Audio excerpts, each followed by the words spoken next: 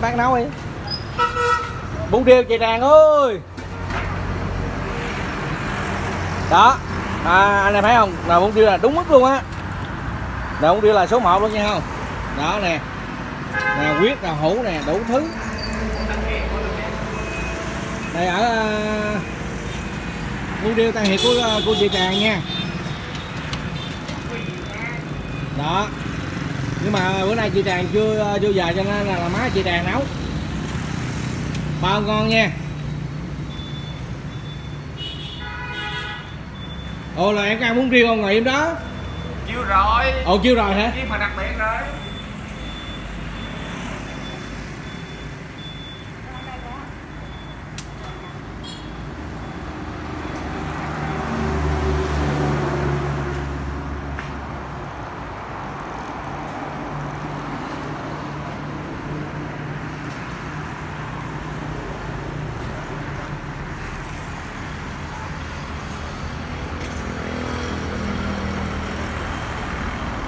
quá ngon chị tràng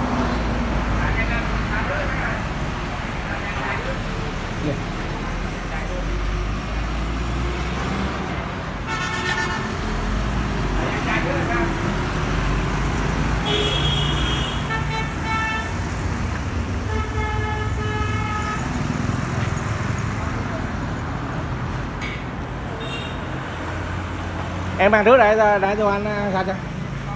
À vậy à, làm ăn trước lập.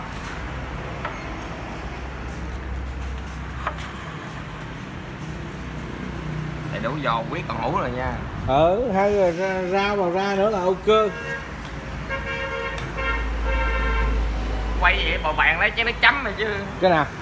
Mày xài nước chấm đi qua bên kia lấy ờ, chén qua kìa đó, qua lấy chén nước chấm gì kìa. Đó má chị tràn đang nấu mà. Nói chung à, chậu quán riêu này cũng trên dưới 40 năm rồi đó.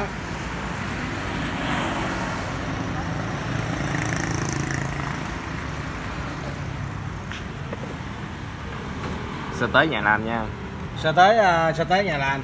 Nhưng mà đặc biệt cái mắm tôm là ở nhà xào luôn á. Mắm tôm đem về xào luôn chứ không có Không thể trong bụng nha. À, không có chuyện mà để sống nha. Dạ.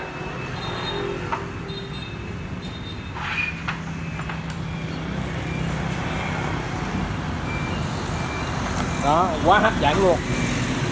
Đó.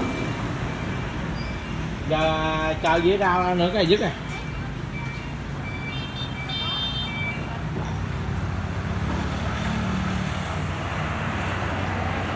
giờ bốn kêu được hai tô này chờ chờ cái dĩa rau ra nữa cái là dứt.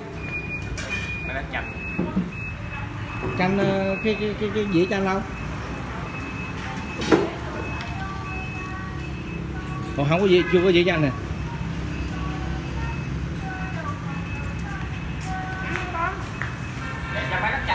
Ơi.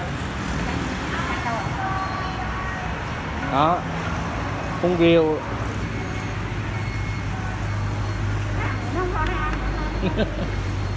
quá ngon em mà. Thôi, cái đóng nhang để à, mình ăn riêng cái.